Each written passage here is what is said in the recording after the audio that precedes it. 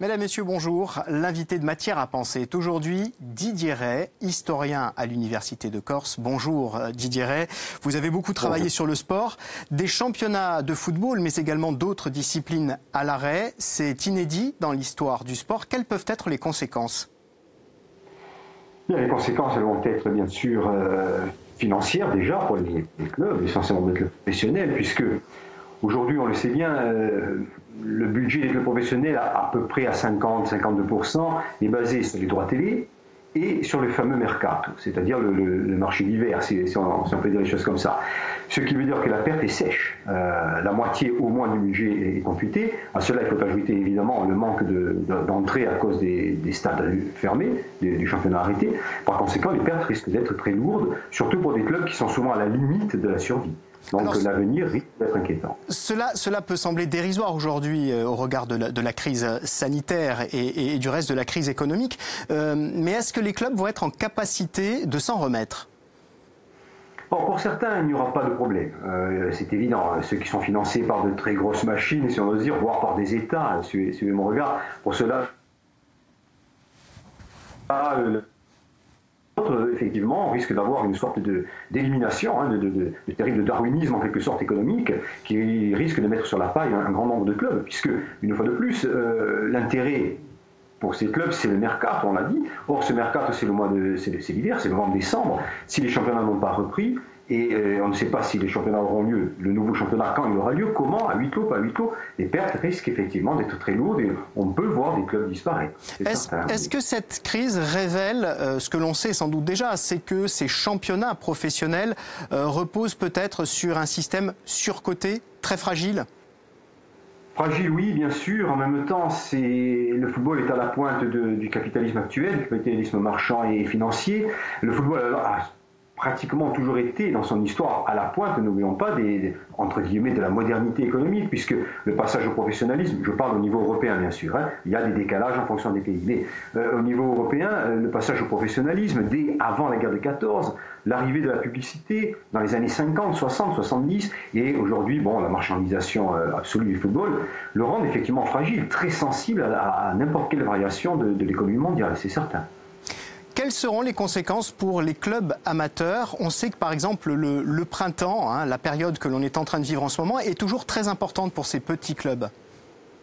Mais pour les petits clubs, euh, c'est encore plus grave. D'abord parce que les rentrées, euh, les rentrées au stade sont quand même importantes. Il n'y en a plus, c'est certain. Euh, les coupes régionales, la Coupe de Corse par exemple, ne pourra pas, ne pourra pas avoir lieu. C'est encore une perte. Et puis, euh, les sponsors, il y a pour les, petits clubs également des sponsors qui sont souvent des sponsors de, taille euh, régionale ou infrarégionale. Et là, pour ces sponsors, la crise est aussi très grave. Par conséquent, euh, le financement des clubs dans les mois à venir n'est pas assuré, pas, du tout assuré.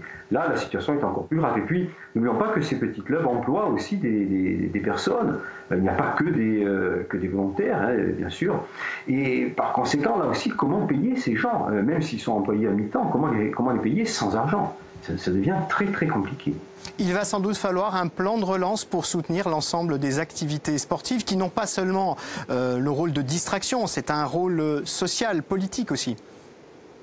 Mais oui, euh, un plan de relance, bon, ça je ne sais pas s'il y aura un plan de relance ou pas. Ce qui est clair, c'est qu'au-delà de l'aspect strictement financier dont nous avons parlé jusqu'à présent, mercantile même, il y a l'aspect du lien social, il y a l'aspect du, ne serait-ce que du supporterisme, du fait de se retrouver dans les stades. Et plus largement, cela, recoupe la, euh, crise que, nous, vivons, qui est aussi une crise de la rupture du lien social. Euh, dans des sociétés comme la nôtre, société méditerranéenne, qui reste malgré tout une société du, du tactile, du toucher, le fait de la mise à distance de l'autre, euh, sera très certainement difficile à vivre. Et, pour les stades également, on, voit mal comment euh, organiser des, parties de football, même avec un nombre limité de spectateurs, sans cette euh, sorte d'osmose, de, tactile, il faut, bien le dire. Oui, de ce côté-là, il y a sociologiquement et, culturellement des, choses euh, très inquiétantes pour l'avenir. Didier, on parle beaucoup de l'après durant cette, cette crise sanitaire et, économique, en cette période de, confinement. En tant qu'historien, votre travail, c'est de, se fonder sur les événements, sur les faits. Mais vous, cet après, comment, vous le regardez? Hmm. Ouh là là. Euh, de manière très négative. Bon, euh, comme nous l'avons évoqué précédemment, déjà, la, nouveauté du lien social, un lien social dans lequel l'autre sera considéré d'une certaine manière comme dangereux et, et soi-même comme dangereux pour l'autre. Donc là, ce sont des choses qui sont très difficiles à vivre, certainement. Pour le reste, je ne me fais aucune illusion.